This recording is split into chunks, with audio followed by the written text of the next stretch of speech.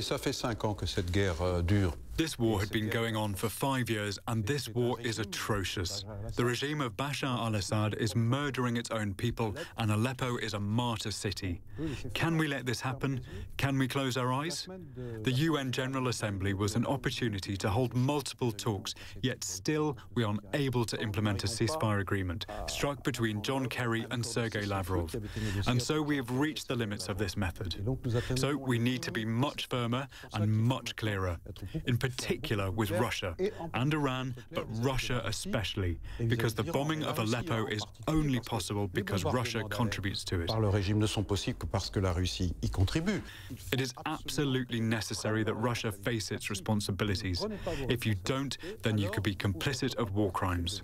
What was attempted were talks in Geneva for a ceasefire, but they didn't succeed because there is a problem of trust. Elles ne sont pas concrétisées parce qu'il y a un problème de When the Friends of Syria group euh, met in New York, I witnessed this verbal contest between the Russian and the American, and the others were spectators. entre le russe et. I proposed in the name of France to establish a mechanism of control for a ceasefire that not just Russia and the US would be involved in, but also the other countries, European and Arab, that would control the implementation of a truce and humanitarian access to renew trust and create the conditions for a ceasefire. We must be clear there will never be a military solution.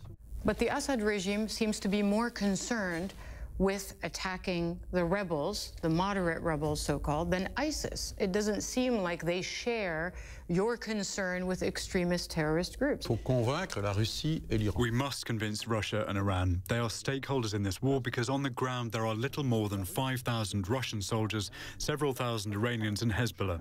Let me give you an example. Everyone must face their responsibilities.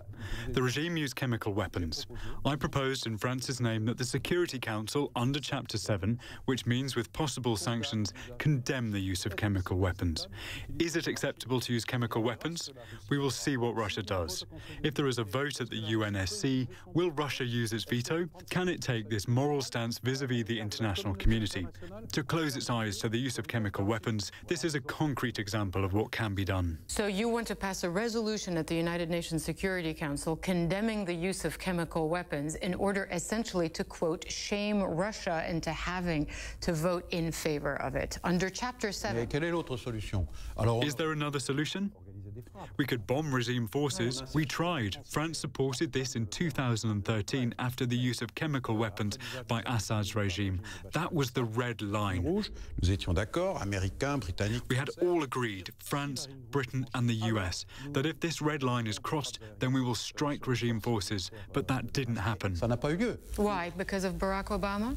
It was a sovereign decision of the United States and Britain. It is now in the past. We are in another reality. Do we keep our eyes closed? Do we allow the massacre of Aleppo? I say we cannot accept this massacre of Aleppo. So diplomacy, not more military involvement, not exclu- uh, uh, no-fly Je, zones. je, je, To have a no fly zone, you need to take military action. Oui. The question was raised in 2013.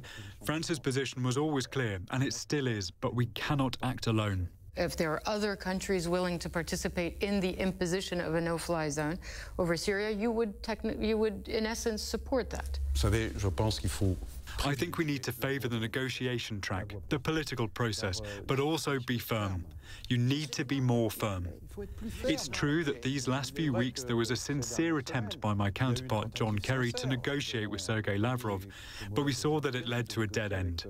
So we have to speak with the same voice, with a lot more firmness to say to Russia, face your responsibilities, because if you don't, you will be guilty of abetting crimes against humanity. It's not nothing to say that. Now, we... pas rien de dire ça. Oui, de crimes de guerre, war crimes. What do you make of Donald Trump, his proposals in terms of foreign policy specifically, since you're the French foreign Je, je ne sais minister? pas exactement quelle est la position de la politique. I don't exactly know what Donald Trump's foreign policy is. It's very confused. Of course, as the French foreign minister, I'm not going to tell Americans how to vote. But let me tell you something. The future US president is important for the US, but also for the rest of the world. We spoke about Syria, for example. We are allies, close allies, and have been for a long time. I know Hillary Clinton a little, and when she was Secretary of State, she did a great job and lived up to her responsibilities. As for Mr. Trump, I have one observation. He said some very harsh things about France when France was suffering from terrorism and questioned the French people. Those are words that I will not forget. He also said that if the French had been armed, if arms were legally for sale, that the French could have protected themselves. You know what France is doing today is to fight against gun trafficking so as not to allow terrorists to use weapons to attack French or European citizens.